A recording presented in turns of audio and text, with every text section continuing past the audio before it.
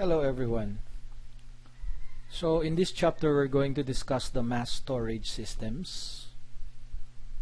Um, the main storage system in modern computers is secondary storage which is usually provided by hard disk drives and the non-volatile memory devices.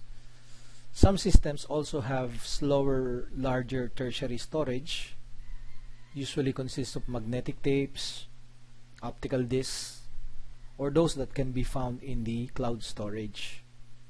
And because the most common and important storage devices in modern computers are the hard disk and the non-volatile memory devices, so we'll be discussing these two types of storage in this chapter.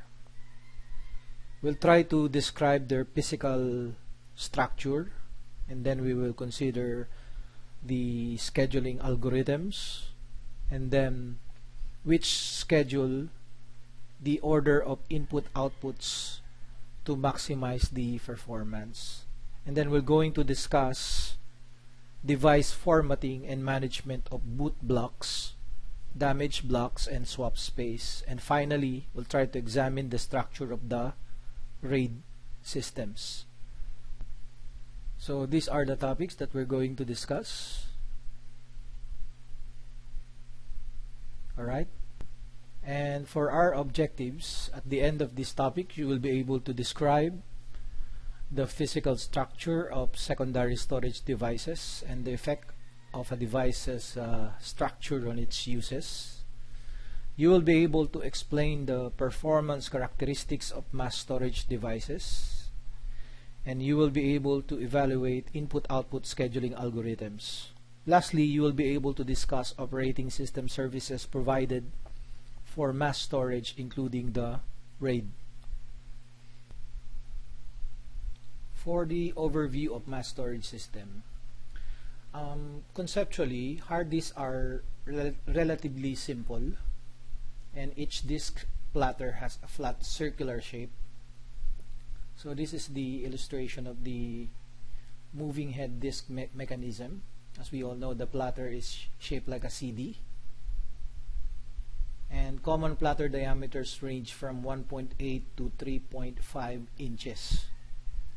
The two surfaces of the platter are covered with magnetic material and we usually store information by recording it magnetically on the platters and we read information by detecting the magnetic patterns on the platters. A disk um, drive motor spins at a very high speed and most drives rotate around 60 to 250 times per second and specifies in terms of rotations per minute or RPM. Common drives spin at around 5400 Sometimes they are 7,200. The others are 10,000 and 15,000 um, rotations per minute. But some drives power down when not in use and spin up upon receiving an input-output request. Rotation speed relates to transfer rates and the transfer rate is at the rate at which data flow between the drive and the computer. Another performance aspect the positioning time or random access time um, is the time to move the disk arm to the desired cylinder or we call it the seek time. And the, the time for the side sector to rotate under the head or the disk head is what we call the rotational latency. Okay? Although the disk platters are coated with a thin protective layer, sometimes the head will damage the magnetic surface. And this accident is called head crash. So a head crash normally cannot be repaired and it's a result from disk head making contact with the disk uh, surface. So the only option is to replace the disk and the data on the disk are lost unless they were backed up to other storage or RAID protected and we will be discussing RAID uh, later on. So more about the hard disk drives. Uh, as you can see from here the platters ranges from 0.85 inches to 14 inches but commonly it's now around uh, 3.5 inches and there are some options for 2.5 and 1.8 uh, inches. The range is from the 30 gigabyte to 3 terabyte per drive. For the performance, the transfer rate, theoretically, it's around uh, 6 gigabyte per second. But the effective transfer rate is around 1 gigabyte per second.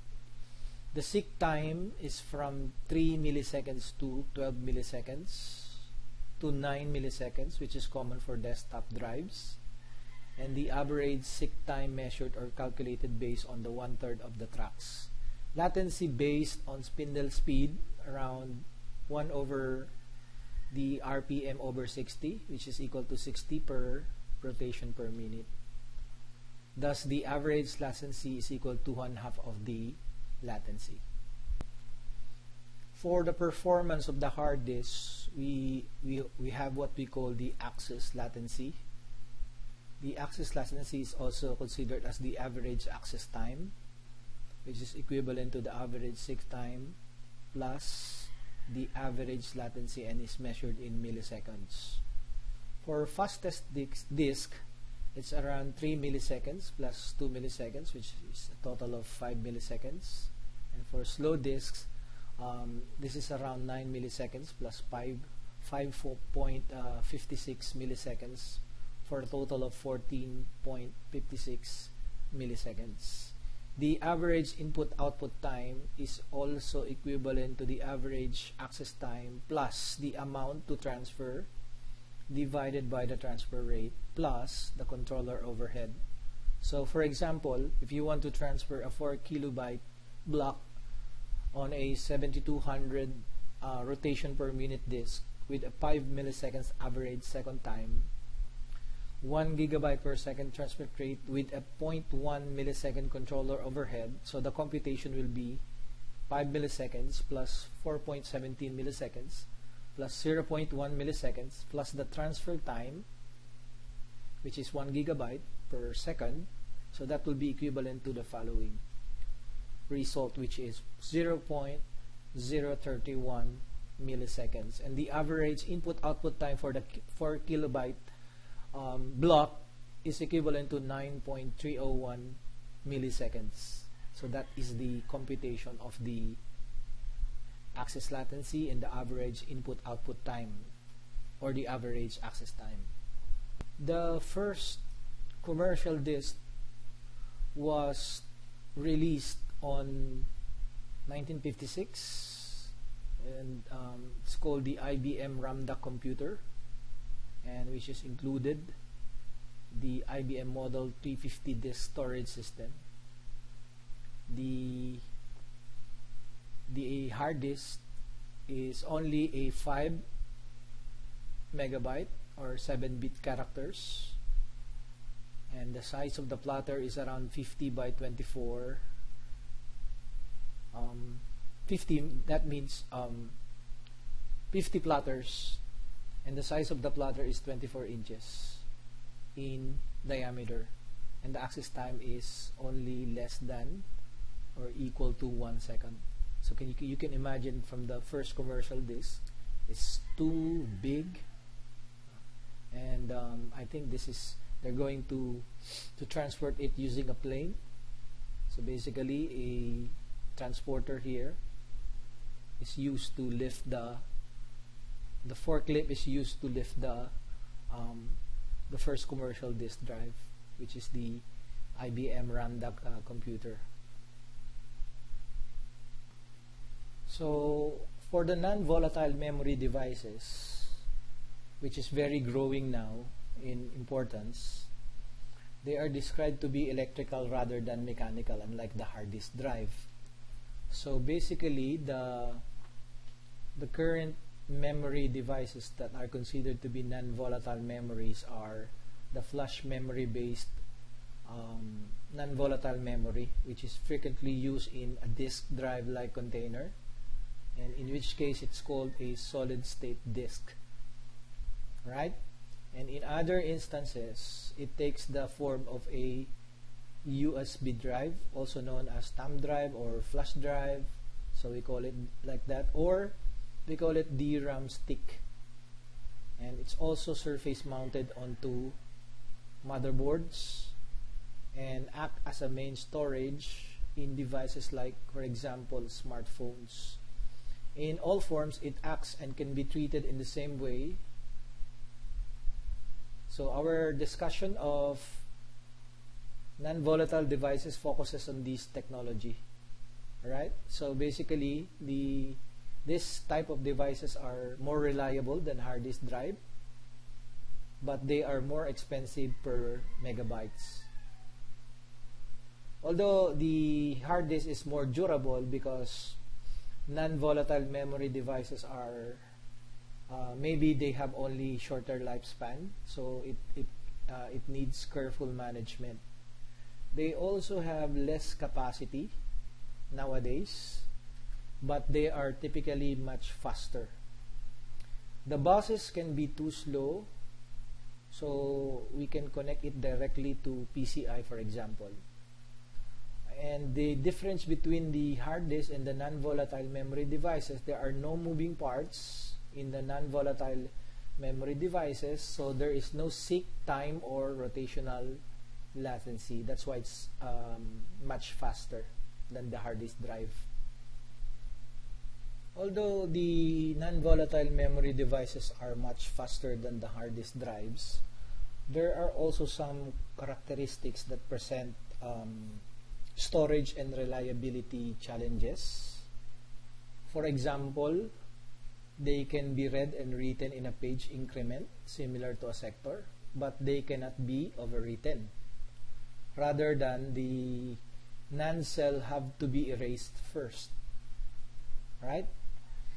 So the erasure which occurs in a block increment that is several pages in size will take much more time than a read or the fastest operation or a write uh, slower operation than read but much faster than erase. So helping the situation is that the the non-volatile memory flash devices are composed of many die with many data paths to each die. So operations can happen in parallel using a data path. Another characteristic is that the NAND semiconductors also deteriorate with every erase cycle. And after 100,000 program erase cycle, the specific number varies depending on a medium, the cells no longer retain the data because of the write wear no? and because there are no moving parts the lifespan is not measured in years but in DWPD or the drive writes per day so that measure is how many times the drive capacity can be written per day before the drive fails so for example if you have a 1 terabyte NAND drive or flash drive with 5 DWPD rating, you are expected to have 5 terabyte per day written to it for the warranty period without failure. So these limitations have led to several algorithms. Uh, however, fortunately, they are usually implemented in the non-volatile device controller and not on the concern of the operating system. So the operating system simply reads and writes logical blocks and the device manages how that is done. Okay? Because NAND semiconductors cannot be overwritten once written, there are usually pages containing invalid data and concerning a file system block written once and then later write uh, written again if no erase has occurred in the meantime. The page first written has the old data which are now invalid and the second page has the current good version of the block. A NAND block containing valid and invalid pages is sh shown here in this image. And if you want to track which logical block or blocks contain the valid data, the controller maintains a uh, file or flash translation layer. Alright, this is the FTL table which maps the physical pages that contain currently valid logical blocks. It also contains tracks physical block state which blocks contain only invalid pages and therefore can be erased as you can see from the image. Now if we consider a full SSD with a pending write request for example because the SSD is full all pages have been written to but there might be a block that contains no valid data. So in that case the write could wait for the erase to occur and then the write could occur. But what happens if there are no free blocks? There still could be some space available if individual pages are holding the invalid data. So in that case, garbage collection could occur. And this uh, garbage collection uh, will, will implement a system to free invalid page space. So that means good data could be copied to other locations which free up the blocks that could be erased and could be uh, could could receive the writes. No? However, where would the garbage collection store the good data? So to solve this problem and improve the write performance, the non-volatile memory device uses over provisioning. So over provisioning is to provide working space for the um, GC. Okay? So the device sets aside a number of pages. So usually it's around 20% of the total as an area always available to write. And blocks that are totally invalid, uh, invalid by the garbage collection or GC or write operations invalidating older versions of the data are erased and then they are placed in the over provisioning space if the device is full or returned to the free pool. The over provisioning space can also help with wear leveling. And what is wear leveling? This means that each cell has lifespan and the wear leveling is needed to write equally to all the cells. So that means if some blocks are erased repeatedly while others are not, the frequently erased blocks will wear out faster than the others. And the entire device will have a shorter lifespan than it would if all the blocks were out concurrently. So the controller tries to avoid that by using various algorithms to place the data on less erased blocks so that subsequent erases will happen on those blocks rather than on the more erased blocks. So it levels the wear across the entire devices or device. It might seem odd to discuss volatile memory in this chapter of mass storage structure, but it's also justifiable because the DRAM or the dynamic random access memory is frequently used as a mass storage device. Specifically, RAM drives which are known by many names, including RAM disks, um, they also act as a secondary storage, but they are created by device drivers that curve out a section of the system's DRAM and present it to the rest of the system as it were a storage device. So these drives can be used as a row block devices. But more commonly, file systems are created on them for standard file operations. So computers already have buffering and caching. So what is the purpose of yet another use of DRAM for temporary data storage? After all, DRAM is, uh, we all know that DRAM is volatile, no? And data on a RAM drive does not survive a system crash, shutdown or power down. So caches and buffers are allocated by the programmer or operating system whereas the RAM drives allow the user as well as the programmer to place uh, data in the memory for temporary safekeeping using standard file operations. So in fact, the RAM drive functionality is useful enough that such drive are found in all major operating systems. So in Linux, there is what we call a slash dev slash RAM. In Mac OS, we have the disk util to create them. And in Linux, we have the slash temp of file system type uh, TMPFS. Alright? RAM drives are useful as high-speed temporary storage space. Although non-volatile RAM memories uh, devices are fast, DRAM is much faster. And input-output operations to RAM drives are the fastest way to create, read, write, and delete files and their contents. Many programs use or could benefit from using RAM drives for storing temporary files.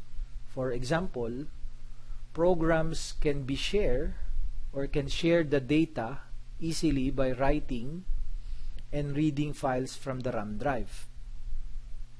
For example, the Linux at boot time, it creates a temporary root file system.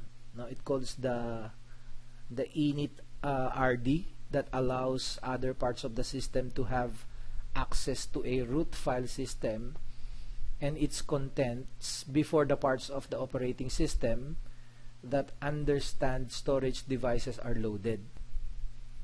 So the magnetic tape, as you can see from here, I don't know if you have or you are familiar with the magnetic tape, but this was used as an early secondary storage medium and although it is non-volatile and can hold large quantities of data, the access time is very slow compared with the main memory and drives. And in addition, the random access to magnetic tape is about a thousand times lower than the random access to the hard disk. And it's about 100,000 times lower than random access to solid state drives. So tapes are not very useful for secondary storage. But tapes are used mainly for backup, for storage of infrequently used information, and as a medium for transferring information from one system to another. So the secondary storage device is attached to a computer by the system bus or we call it the input-output buses.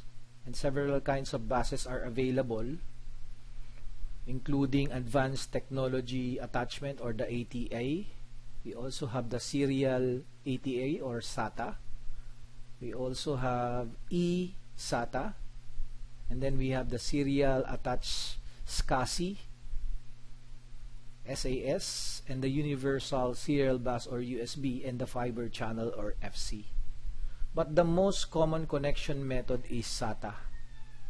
Because non-volatile memory devices are much faster than hard disks, the industry created a special fast interface for non-volatile memory devices and they call it the NVM Express which connects directly to the PCI bus the host controller is the controller at the computer end of the bus.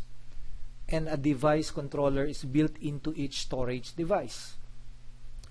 And to perform a mass storage input-output operation the computer places a command into the host controller typically using memory map input-output ports no? Which we will try to describe later.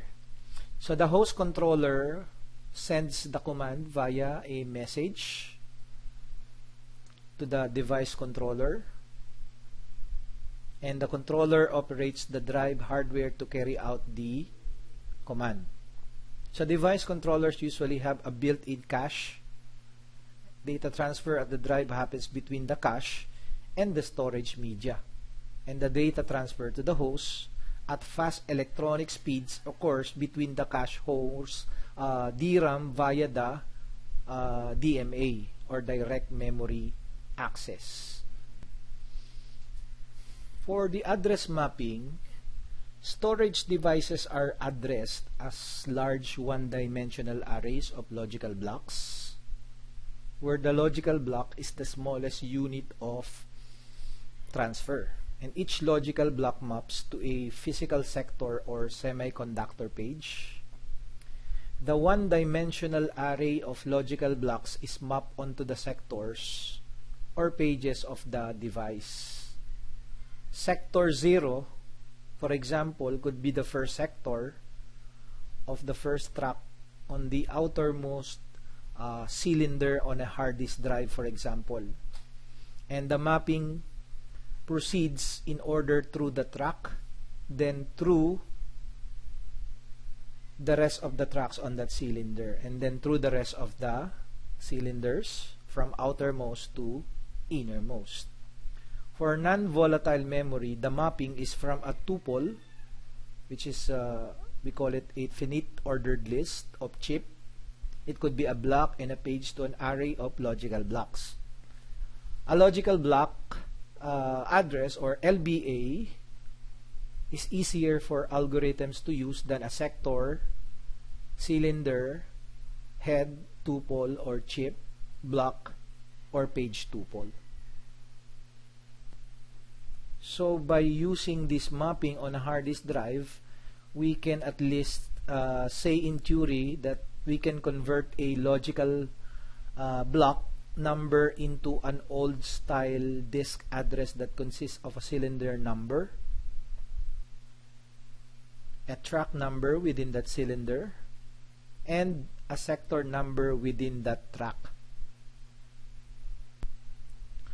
One of the responsibilities of the operating system is to use the hardware efficiently.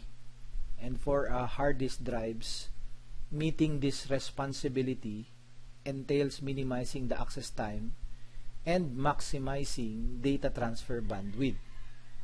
So for hard disk drives and other mechanical storage devices that use platters, access time has two major components. We already mentioned that so we have the seek time, which is the time for the device arm to move the heads to the cylinder containing the desired sector. And we also have the rotational latency, which is the additional time for the platter to rotate the desired sector to the head. So the device bandwidth of the disk is considered to be the total number of bytes transferred and the completion or divided by the total number or the total time between the first request for service and the completion of the last transfer.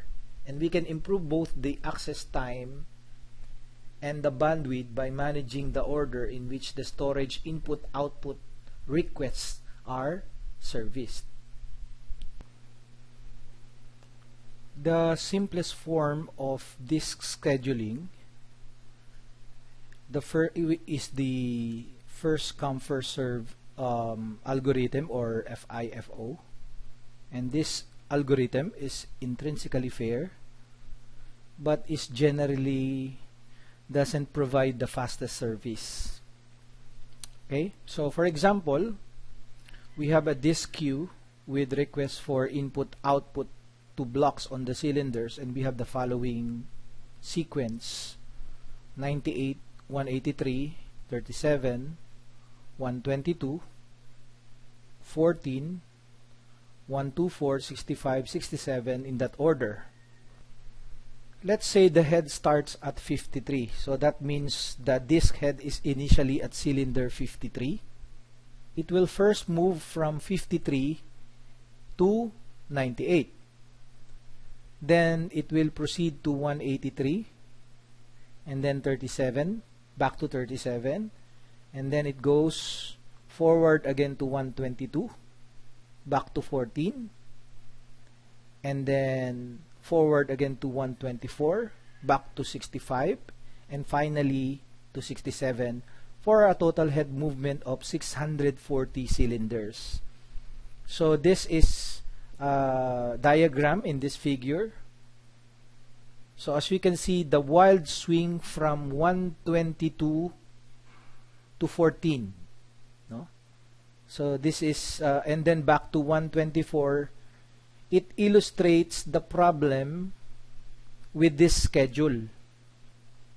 If the requests for cylinder 37, for example, and 14 could be serviced together,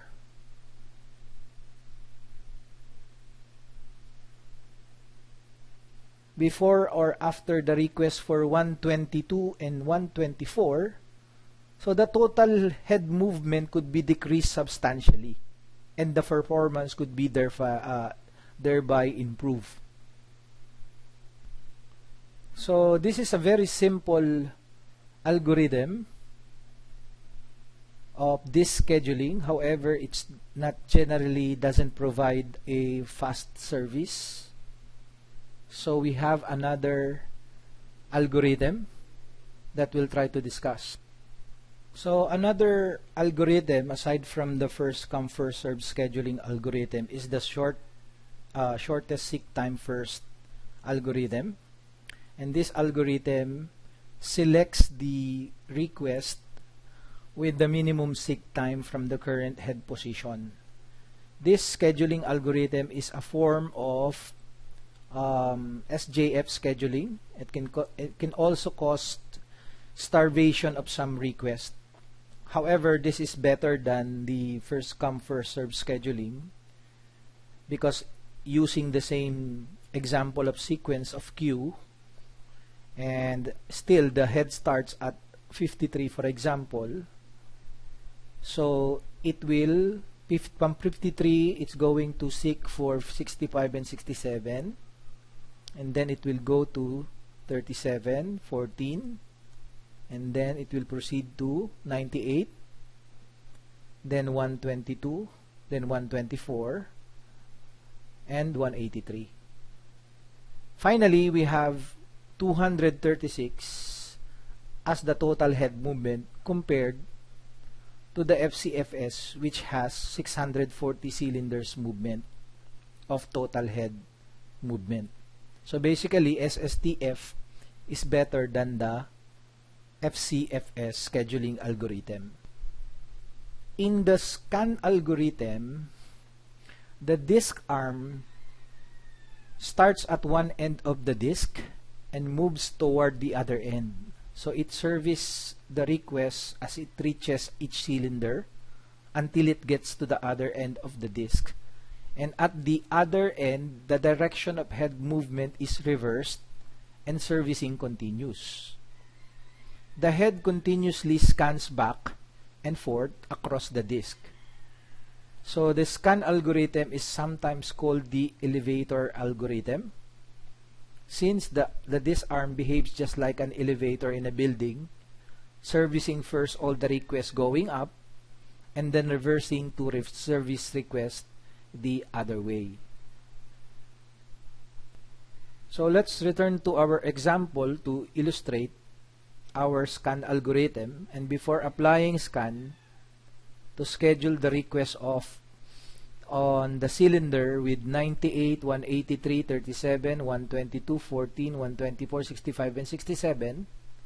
So we need to know the direction of the head movement in addition to the head's current position. So let's assume that the disk arm is moving towards 0 and that the initial head position is again in 53. Okay, so the, the, the disk arm is moving towards 0.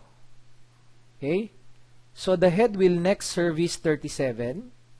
From 53, it will service 37 and then 14. And then at cylinder 0, the arm will be reversed so it will go to the right because the last time it moves to the left going to 0 but now as the at cylinder 0 the arm will be reversed and will move toward the other end of the disc which is to the right servicing the request 65 67 98 122, 124, and finally 183. So if a request arrives in the queue just in front of the head, it will be serviced almost immediately. So a request arriving just before uh, behind the head will have to wait until the arms move to the end of the disc which reverses the direction and comes back. So definitely it's like an elevator algorithm. Alright? The C-scan algorithm is a variant of scan which is designed to provide a more uniform wait time. Like scan, the C-scan moves the head from one end of the disk to the other and it services the request along the way. But when the head reaches the other end, it immediately returns to the beginning of the disk without servicing any request on the return trip. So if we will return to our example to illustrate before applying C-scan to schedule the request on this uh, queue, okay, we need to know the direction of the head movement in which the requests are scheduled. Okay, so assume that the requests are scheduled when the disk arm is moving from 0 to 199 and that the initial head position is again 53 the request will be served as depicted in this image, no, in this figure. So we can see that after 53, it will serve 65, 67, 98, 122, 124, and 183. And after it reaches at the end, which is 199, okay, it will move to the other end which is 0 and then it again moves to the right so it services 14 and lastly 37 so this is the circular C-scan. Okay? Which is essentially an algorithm that treats the cylinders as a circular list that wraps around from the final cylinder. This is the final cylinder to the first one. There are many disk scheduling algorithms that are not included in this coverage because they are rarely used, no? But how do operating systems designers decide which one to implement, to implement? Right? And how do deployers choose the best to use? For any particular list of requests, we can define an optimal order of retrieval, but the computation needed to find an optimal schedule may not justify the savings over the scan. With any scheduling algorithm, however, performance depends heavily on the number and types of requests. So for example, suppose that the queue usually has just one outstanding request, then all of the algorithms behave the same because they have only one choice of where to move the disk head. They all behave like first come first serve algorithm or scheduling.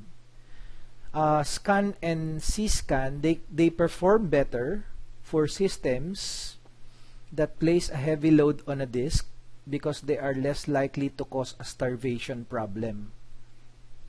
But there can still be starvation though, which drove Linux to create the deadline scheduler.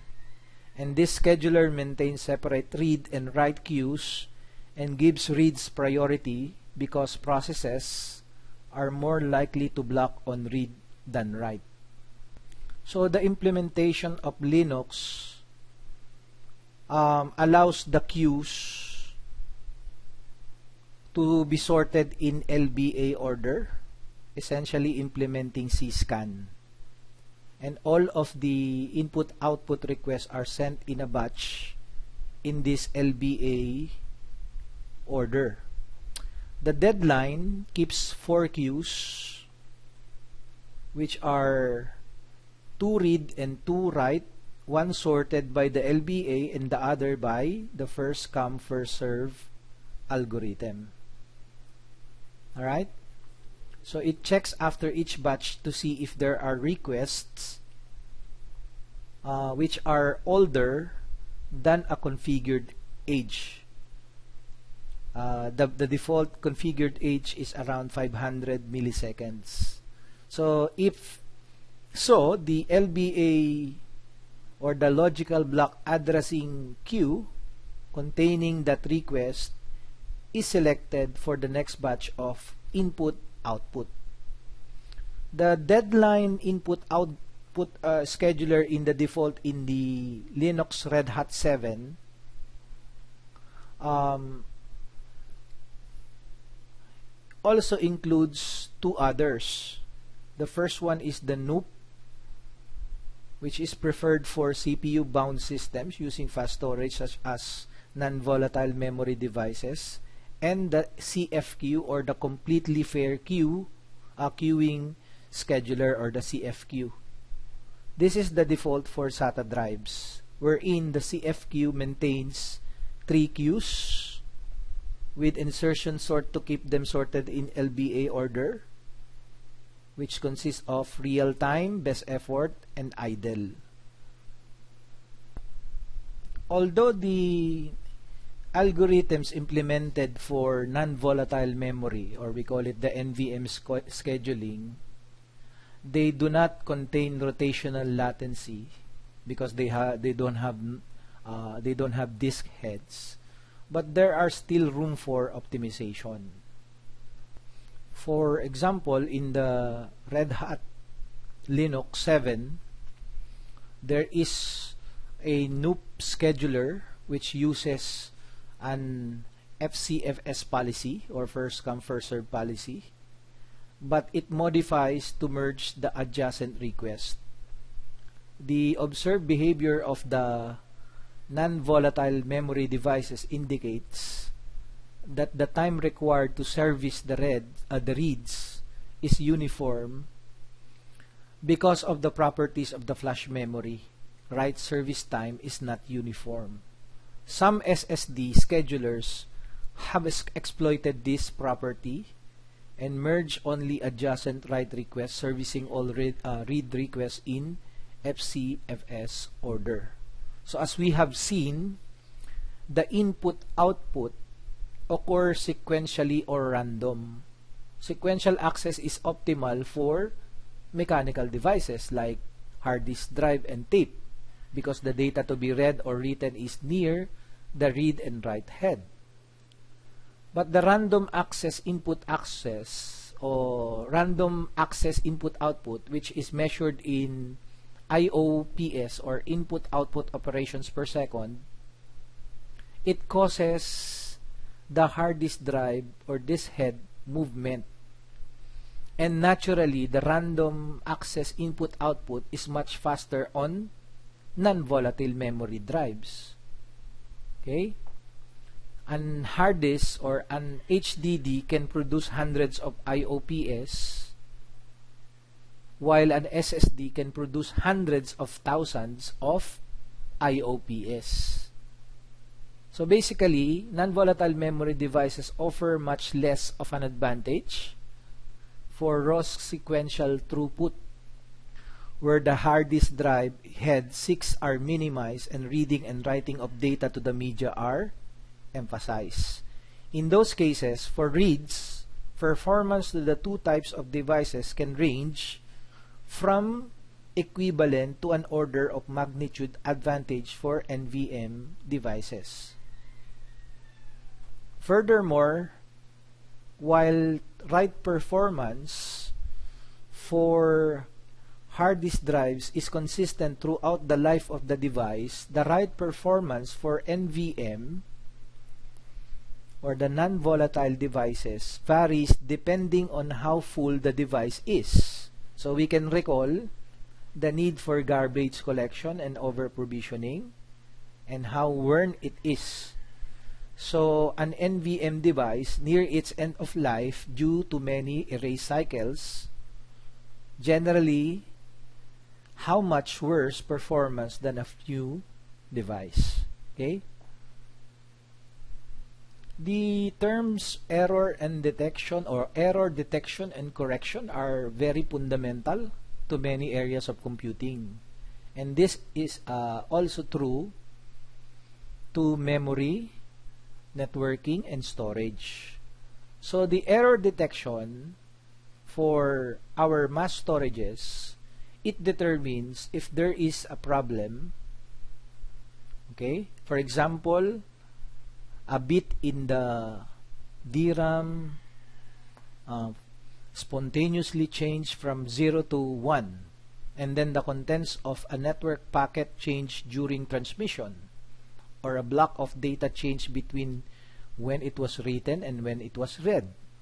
So by detecting this issue, the system can halt an operation before the error is propagated. It can also report the error to the user or administrator or warn of a device that might be starting to fail or has already failed. Memory systems have long detected certain errors by using parity bits. So in this scenario, each byte in a memory system has a parity bit associated with uh, with it no? that it records whether the number of bits in the byte set to 1 is even parity is equal to 0 or odd or parity is equal to 1. So if one of the bits in the byte is damaged, either a 1 becomes a 0 or a 0 becomes a 1, the parity of the byte changes and thus does not match the stored parity. So similarly, if the stored parity bit is damaged, it doesn't match the computed parity. So all single bit errors are detected by the memory system. For a double bit error, it might go undetected. Okay? Um, another error detection method which is common in networking is the cyclic redundancy check wherein it uses a hash function to detect multiple bit errors. So for for single errors such as uh, zeros and ones and ones to zeros, it's called parity or the checksum. While for multiple bit errors, they use CRC or cyclic redundancy check. Alright? Another uh, error detection mechanism is the ECC or the error correction code that doesn't only detects but can also correct some errors. Okay? So the correction is done by using algorithms and extra amounts of storage. But the codes vary based on how much extra storage they need and how many errors they can correct. Alright? For example, disk drives use per sector ECC and the flash drive uh, per page ECC. So when the controller writes a sector page of data during normal input-output, the ECC is written with a value calculated from all the bytes in the data being written. So in some cases, soft errors are correctable. However, if it is a hard error or a hardware error, it can be detected but they are not uh, corrected. The operating system is responsible for several aspects of storage device management. So here we're going to describe, uh, discuss and describe drive initialization and then the booting from a drive and the bad block recovery. So how do we know that there is a um, bad block recovery? So we will understand it here. So a new storage device is a blank slate. So definitely it's only a platter of a magnetic recording material or a set of uninitialized semiconductor storage cells and before a storage device can store a data, it must be divided into sectors that the controller can read and write. Okay? So, um, the NVM or the non-volatile memory must initialize or must be initialized and the FTL created. And this process is what we call the low-level formatting or physical formatting, wherein to be able for a new storage to be used, initially, it should be divided first into sectors that the controller can read and write. Alright? The low-level formatting fills the device with a special data structure for each storage location. So the data structure for a sector or page typically consists of a header, a data area, and a trailer. The header and trailer contain information used by the controller such as sector, page number, and an error detection or correction code.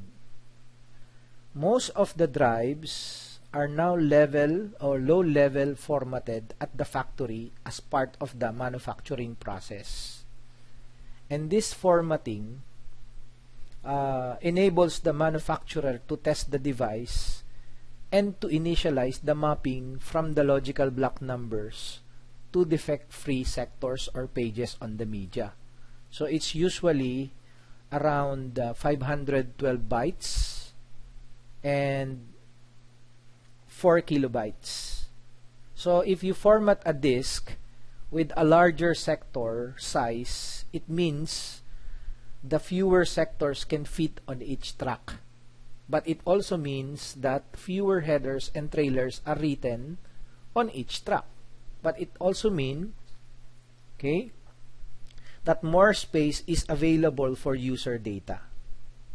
And some of the operating systems can handle only one specific uh, sector size. Now, before we can use a drive to hold the files, the operating system still needs to record its own data structures on the device. And it does it in three steps. No? So the following are the steps the first step is to partition the, the disk or the device into one or more groups of blocks or pages. So what the operating system do is to treat each partition as though it were a separate device. For instance, one partition can hold a file system containing a copy of the operating system's executable code.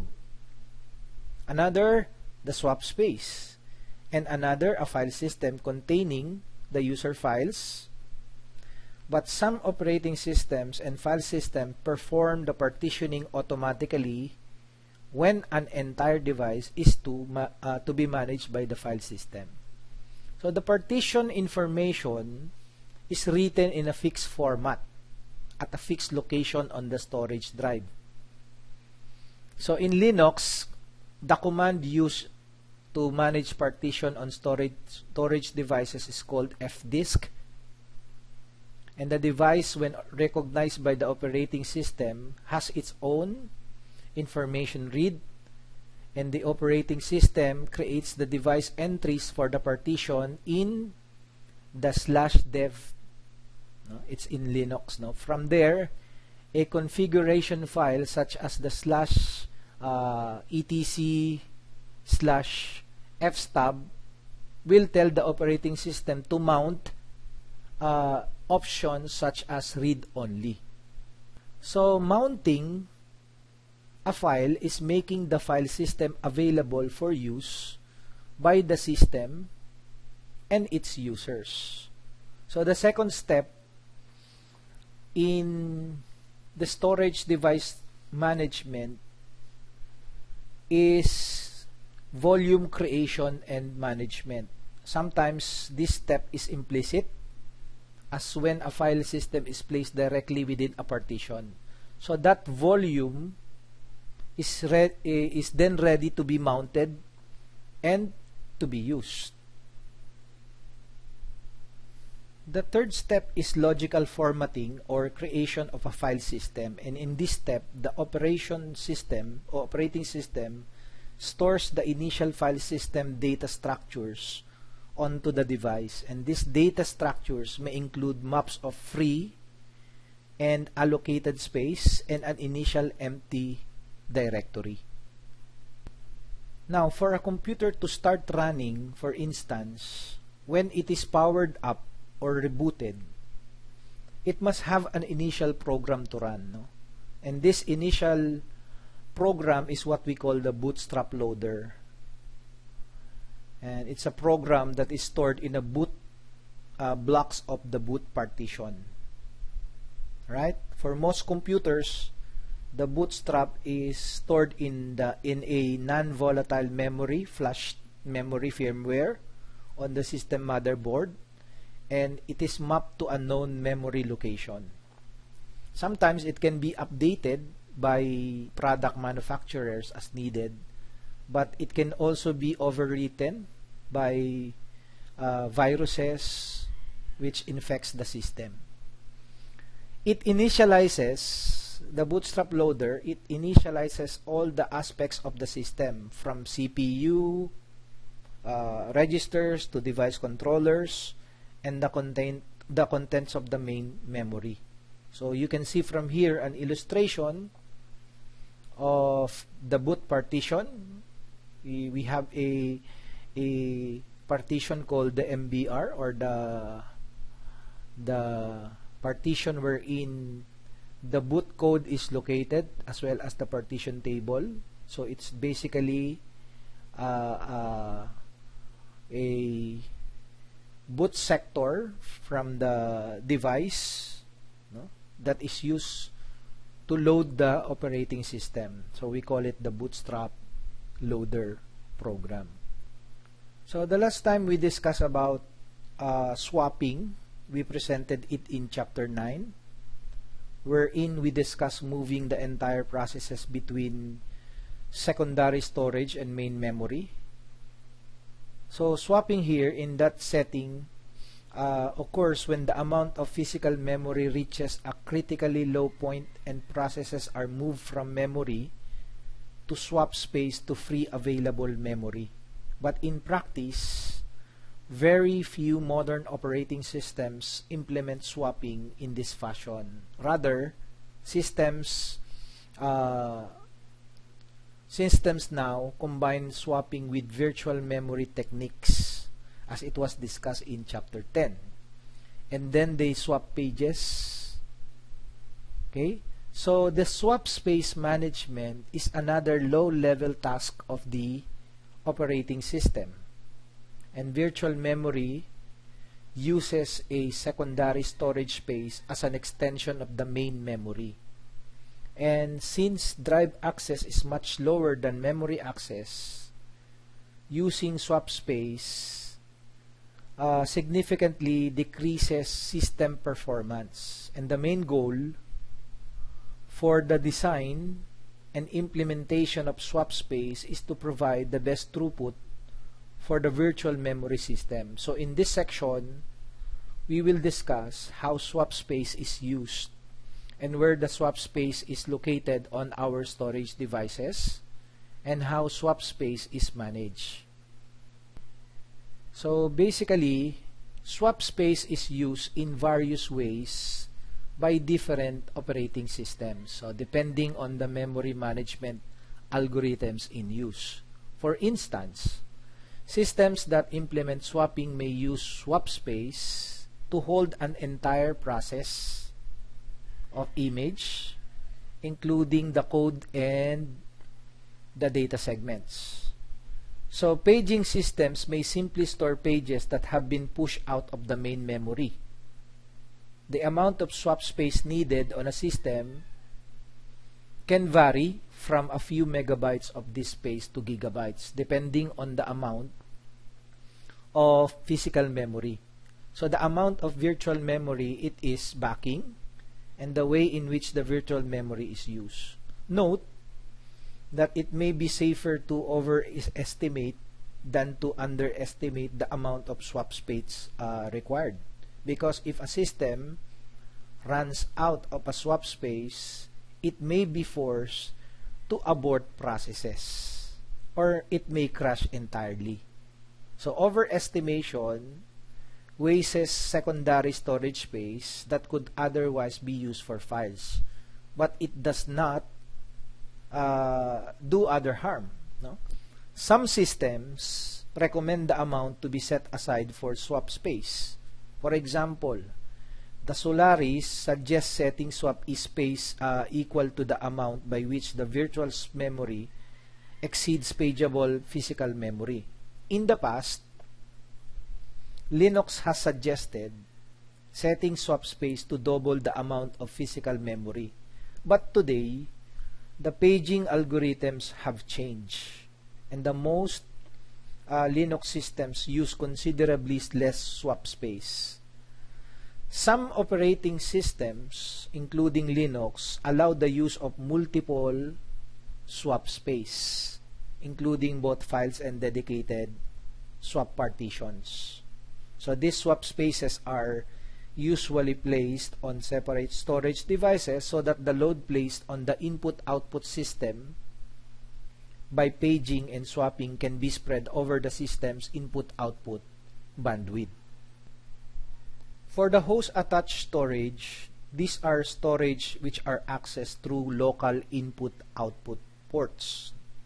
And these ports use several technologies, but the most common is the SATA, as mentioned earlier. A typical system has one or few SATA ports, and to allow a system to gain access to more storage, either an individual storage device a device in a chassis or multiple drives in a chassis can be connected via USB or universal serial bus. Alright? So it can also be uh, a USB firewire or a Thunderbolt ports and cables. Some high-end workstations and servers, they have uh, more storage or they need more storage or need to share storage so they use more sophisticated input-output architecture such as the fiber channel or the FC. The fiber channel is a high-speed serial architecture that can operate over optical fiber over a four-conductor copper cable. So because this because of the large address space and the switch nature of the communication, multiple hosts and storage devices can attach to the fabric, allowing great flexibility in an input-output communication. So as you can see from the figure, a network attached storage or NAS is a storage that provides access to storage across a network. So a NAS device can be either a special purpose storage system or a general computer system that provides its storage to other hosts across the network. Client clients access network attached storage via a remote uh, procedure call interface such as NFS for Unix and Linux systems or CIFS for Windows machine. So the remote procedure calls or the RPCs are carried via the TCP or UDP over an IP network. Usually the same local area network that carries all the data traffic to the clients. So that network attached storage unit is usually implemented as a storage array with software that implements the RPC interface.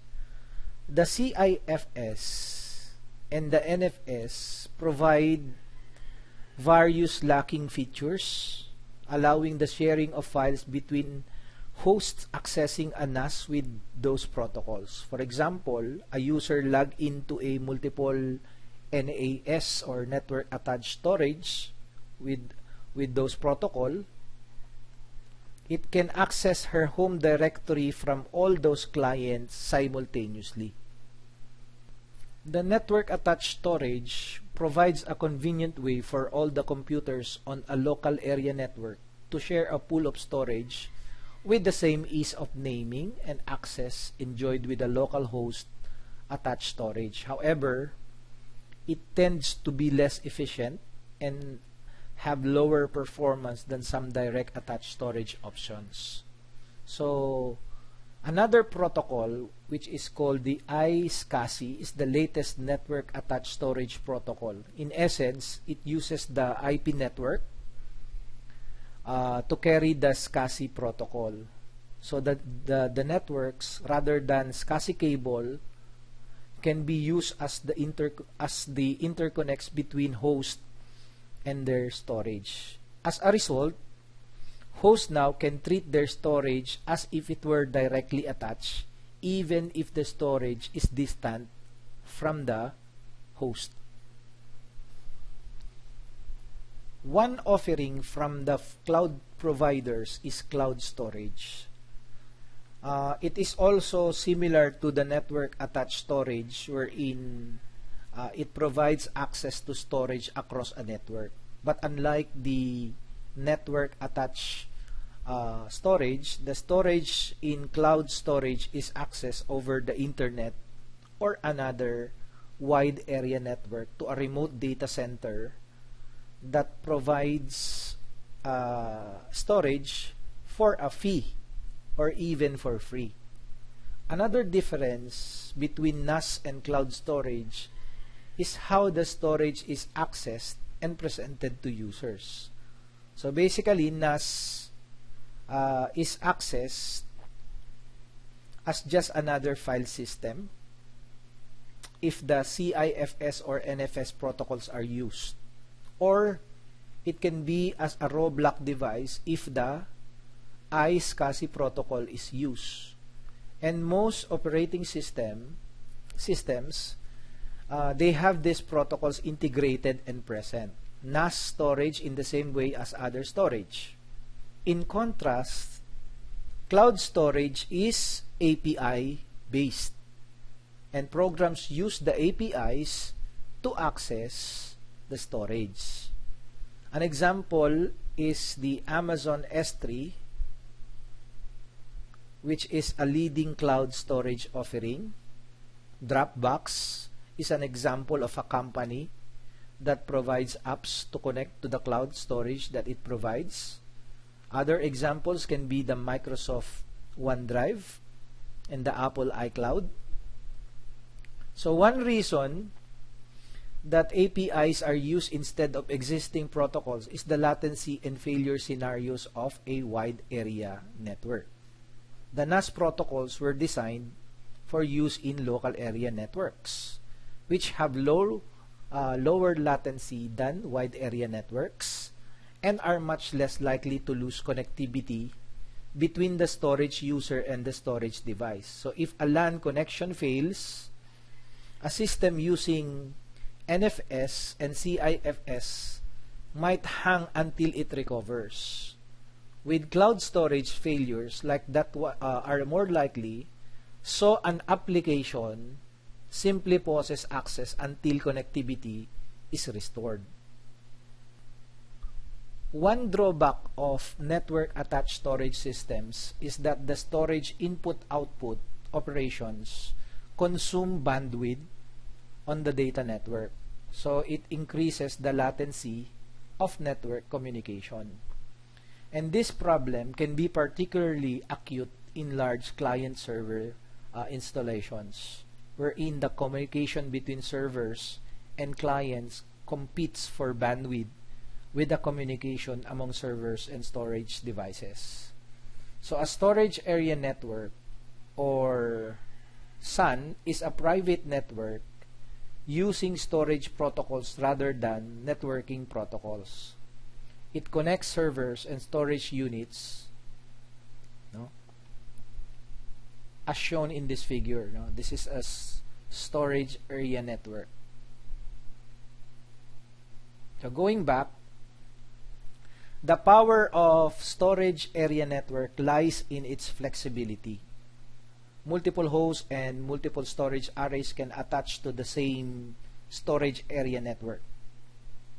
And storage can be dynamically allocated to hosts. The storage arrays can be RAID protected or unprotected drives. JBOD is the term used or just a bunch of disks. So a SAN switch allows or prohibits access between the host and the storage. So basically, the storage array has controllers. It provides features to attach the host. It also has ports to connect host to array. It has memory, which controls the software, sometimes an NVRAM. And there are a few to thousands of disks. Sometimes they are RAID or capable of the RAID system. They shared they have shared storage and of course they are more efficient. And the features found in some file systems are present such as snapshots, clones, thin provisioning, replication, deduplication, etc. So the figure is the storage area network, which is very common in a large storage environment where multiple hosts attach to a multiple storage arrays. And it allows flexibility because all of the clients can ask the server and the server is accessing the storage of the arrays for multiple storage of files.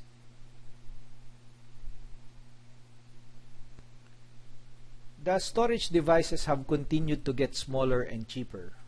So it is now economically feasible to attach uh, many devices or drives to a computer system. Having a large number of drives in a system presents opportunities for improving the rate at which data can be read or written. So if the drives are operated in parallel, furthermore, this setup uh, offers the potential for improving the re reliability of the data storage because redundant information can be stored on multiple drives. So a failure of one drive does not lead to a loss of data. A variety of these organization techniques collectively called the redundant array of uh, independent disks it's called independent, not inexpensive disks. Okay? This is the most commonly used to address the performance and reliability issues. So in the past, RAIDs are composed of small, cheap disks were viewed as a cost-effective alternative to a large, expensive disks.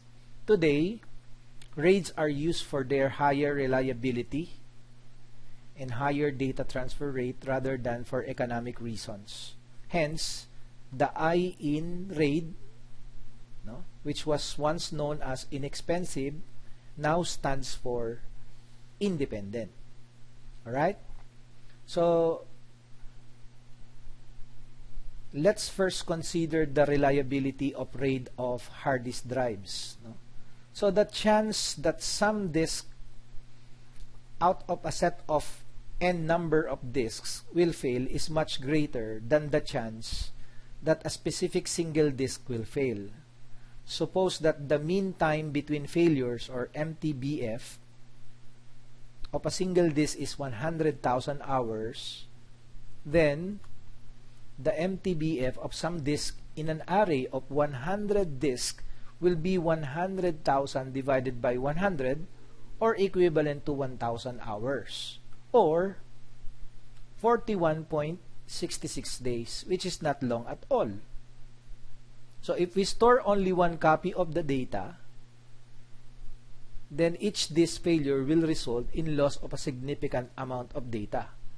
And such a high rate of data loss is unacceptable.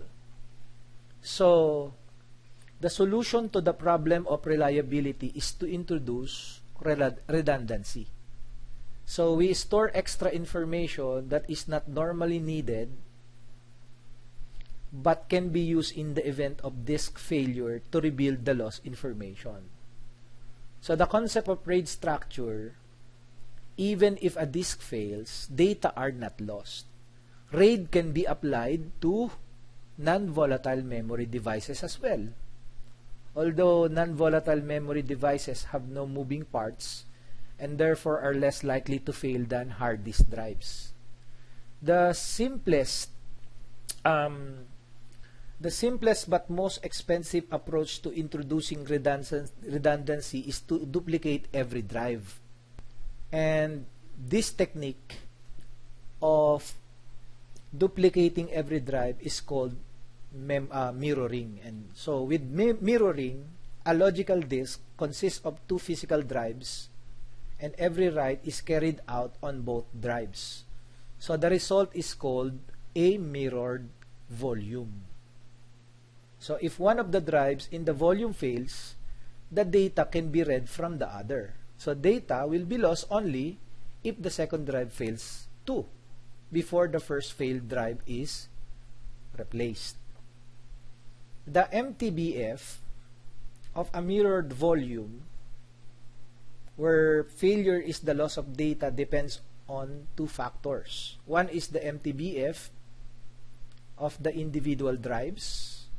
The other is the mean time to repair, which is the time it takes on the average to replace a failed drive and to restore the data on it.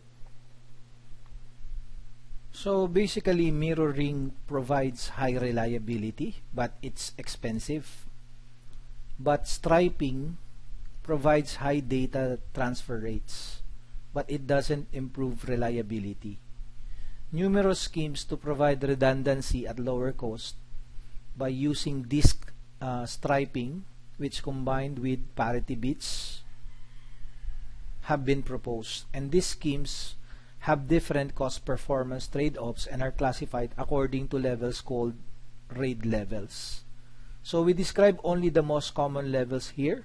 As you can see from the image, you can, uh, in the figure we see P indicates um, error connecting bits, correcting bits, and C indicates a second copy of the of the data. So in all cases, so in all cases, in the figure, four drives in letter A, four drives worth of data are stored and the extra drives are used to store redundant information for failure recovery. Okay, so the C here indicates a second copy of the the data. Alright? So let's assume that these are the original disks and in B they have a RAID 1 mirror disk which provides a second copy of the data okay in this separate disks. So the RAID level 0 uh, it refers to the drive arrays with striping at the level of blocks but without any redundancy such as mirroring or parity bits. In RAID 1 or level 1 it refers to drive mirroring which shows a mirrored organization. As we can see from here, the original disks are copied. No? Another set of of this are are seen here as we call it the um, the second copy of the data right the level um, the level 1 in the level 1 so this is the mirrored organization but in level 4 it is also known as the Memory Style Error Correcting Code or the ECC which are also used in 5 and 6. So we have RAID level 0 which is the original one. RAID 1 level wherein it creates a copy of the data. In level 4 this is known as the uh, ECC or the memory style error correcting code. And level 5 and 6 are considered to be block interleave distributed parity. It's also it also contains ECC and then the RAID 6 uh, known as the P and Q redundancy. So as I have identified, the P indicates the P here indicates the the in the error correcting bits and the C corresponds to the copy of the the data right? And the Q like for example in RAID 6 so this is also called the P plus Q redundancy scheme and it's much like the RAID level 5 but it stores extra redundant information to guard against multiple drive failures. The XOR parity cannot be used on both parity blocks because they would be identical and would not provide more recovery information. So instead of parity, error correcting codes such as the Galois field math are used to calculate the Q. Okay? So in this scheme, two blocks of redundant data are stored for every four block of data compared with one parity block in level 5 and the system can tolerate two drive failures. Alright? For RAID 6, no, which is called the multidimensional RAID level, some of the additional sophisticated storage arrays uh, amplify the RAID level 6 so we can consider an array containing hundreds of drives. So it, it does considered to be a multi-dimensional RAID uh, uh, level 6 so it logically arranges the drives into rows and columns and implements RAID level 6 both horizontally along the rows and vertically down the columns. So definitely the system can recover from any failure or indeed multiple failures. And it's done by using parity blocks in any of these locations. Right? For simplicity, the figure will only show us the RAID parity on dedicated drives, but in reality, the RAID blocks are scattered throughout the rows and columns. So in this example, we have other types of RAID. We call it RAID level 0 plus 1 and 1 plus 0. So this refers to any combination of RAID level 0 and 1. So RAID 0 provides the performance while RAID 1 provides the reliability. So generally, this level provides better performance than RAID 5. And it's common in environments where both performance and reliability are important. Unfortunately, like RAID 1, it doubles the number of drives needed for storage. So it's also relatively expensive.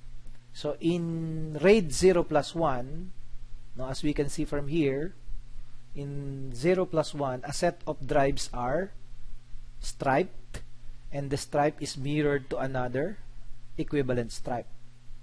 Another RAID variation is the RAID 1 plus 0 here in letter B, in which drives are mirrored in pairs, right? And then the resulting mirrored pairs are striped.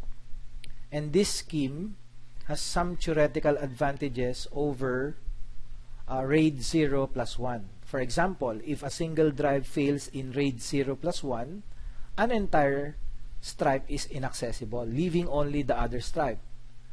With a failure in RAID 1 plus 0, single drive is unavailable, but the drive that mirrors, mirrors it is still available, as, or, uh, as are all the rest of the drives, as shown in this uh, figure. So regardless of where RAID uh, is implemented, other useful features can be added and some of the features such as the snapshot and replication can be implemented at each of these levels as well. What is a snapshot? So it's a view of the file system before the last update took place. And replication involves the automatic duplication of writes between separate sites for redundancy and disaster recovery. And replication can be synchronous or asynchronous. So what happens in synchronous replication? Each block must be written locally and remotely before the write is considered complete.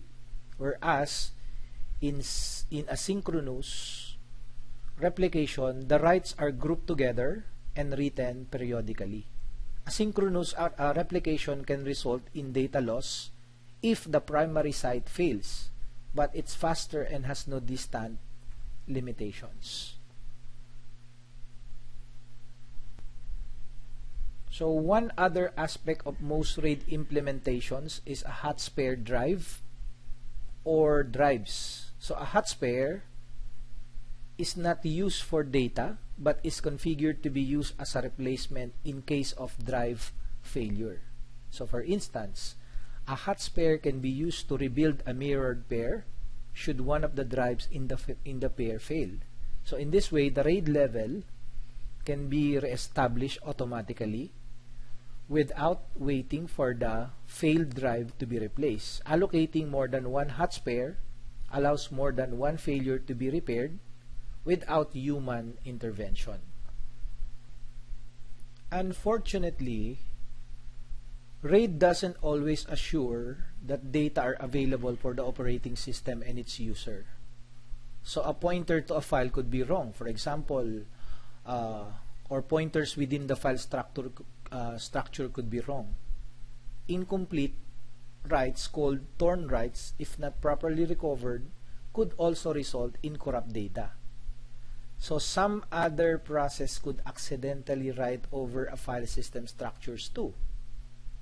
RAID protects against physical media errors but not other hardware and software errors. So a failure of the hardware RAID controller or a bug in the software RAID code could result in total data lost.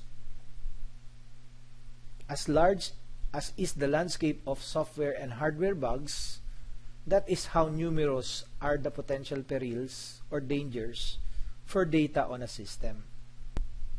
So the Solaris ZFS file system takes an innovative approach to solving these problems through the use of checksums. So ZFS maintains internal checksums of all the blocks including data and metadata and these checksums are not kept with the block that is being checksummed. Rather, they are stored with the pointer to that block. So, this is an illustration of that. No? So, rather, they are stored with the pointer to the block. Okay? So, we can consider an inode, which is a data structure for storing file system metadata with pointers to its data. So within the inode is the checksum of the uh, of each block of data. So if there is a problem with the data, the checksum will be incorrect and the file system will know about it. If the data are mirrored and there is a block with the correct checksum and one with an incorrect checksum, the ZFS will automatically update the bad clock or bad block with the good one. So similarly, the directory entry that points to the inode has a checksum for the inode. And any problem in the inode is detected when the directory is accessed. So the checksumming takes place throughout, uh, throughout the ZFS structures, providing a much higher level of consistency, error detection, and error correction. Right? So the ZFS combines file system management and volume management into a unit, providing greater functionality than the traditional separation of those functions uh, allows, wherein the drives or partition of drives are gathered together via RAID sets into pools of storage. So a pool can hold one or more ZFS file systems and the entire pool's free space is available to all file system within the pool. So ZFS uses the memory model of uh, MA or M allocation function and the free function memory allocate which memory allocate or release calls. So basically general purpose computers they typically use file system to store content for users but another approach to data storage is to start with a storage pool and place objects in that pool. So this approach differs from the file systems in that there is no way to navigate the pool and find those objects. So rather than being user-oriented, object storage is computer-oriented, designed to be used by programs. And a typical sequence is uh, create an object within the storage pool and receive an object ID. Okay, so an object just as a container of data and then access the object when needed via the object ID. Alright? And lastly, delete the object via the object ID. Object storage management software such as the Hadoop file systems and the Ceph uh, determines where to store the objects and manages object protection. So typically, this happen on commodity hardware rather than RAID arrays. For example, the HDFS or the Hadoop file system can store n number of copies of an object of on n number of systems or computers. Okay? So all uh, this approach can be lower in cost than storage arrays and can provide fast access to that object, at least on those n number of systems. But all those systems in a Hadoop cluster can access the object, and only systems that have a copy have fast access via the copy. So computations on the data occur on the system. So therefore, object uh, storage is usually used for uh, bulk storage, not high-speed random access. And the object storage has the advantage of horizontal scalability. So what is that? So that is where the storage array has a maximum fixed capacity. So if you want to add capacity to an object store, we simply add more computers with internal disks or attach external disks and add them to the pool right? Another key feature of object storage is that each object is self-describing, including description of its contents. In fact, object storage is also known as content addressable storage because objects can be retrieved based on their contents and there is no set format for the contents so what the system stores is unstructured data so while object storage is not common on general purpose systems or computers, huge amounts of data are stored in object stores. So that includes Google's internet search contents, Dropbox contents, Spotify songs, Facebook photos, uh, cloud computing such as Amazon, Amazon AWS. They generally use uh, object stores, for example, in Amazon S3 to hold file systems as well as data objects for customer applications running on cloud computers. So that's it.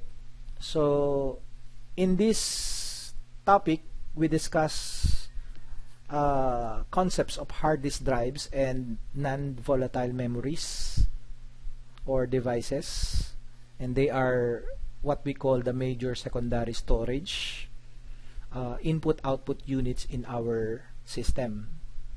And the modern story uh, secondary storage is structured as large one-dimensional arrays of logical blocks. Now the drives of either type may be attached to a computer system. It can be through a local input-output uh, port on the host computer or it can be directly connected to the motherboard. It can also be connected through a communications network or storage network connection. So what are the things that we discuss? Uh, we discuss about the different disk scheduling algorithms. We discuss about the uh, scan and the C-scan. Also the first come first serve algorithm. The shortest seek uh, algorithm. And then we discuss about data storage and transmission which are complex and frequently result in errors. So to resolve that, uh, a mechanism was created for the mass storage systems, which are we call it the error correction and detection, uh, error detection and correction. The other things that we discussed, all right. Lastly, we discuss about the um, swap space, no? Which is a good to uh, which has which is a good uh, a key to good performance in many systems. Um, it dedicates a raw partition to swap space. All right, and other uh, others use a file within the file system instead. So lastly, we discuss about the RAID system because the amount of the storage required is requiring uh, um, multiple copies of the data and because storage devices fail in many ways secondary storage devices are frequently made redundant no it's by using RAID algorithms. And these algorithms allow more than one drive to be used for a given operation and allow continued operation and even automatic recovery in the face of drive failure. So RAID algorithms are organized in many ways, no? Uh, as we have discussed. Lastly, we discuss about cloud storage, how they are accessed using the internet. And that's it. Thank you for your